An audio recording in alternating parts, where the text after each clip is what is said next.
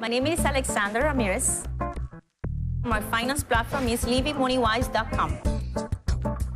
My blog is about personal finance. I want to empower the Latino community with financial education. I want them to learn how to save, how to invest, get rid of debt.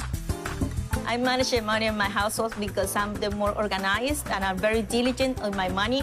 I'm about finance, so I, I, like to keep track of what I'm doing, the expenses, the money coming in, the money coming out. So having money on your bank account, it tells people and the world that you have control on your money and your life.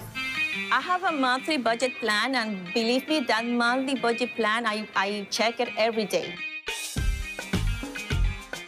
As a Latino entrepreneur, we tend to mix personal money with business money, so you have to separate your business from your personal accounts.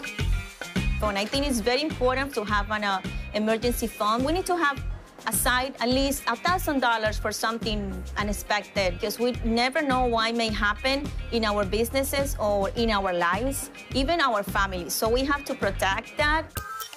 I also have created a retirement fund for my future and I have 401k savings and I also work for an employer.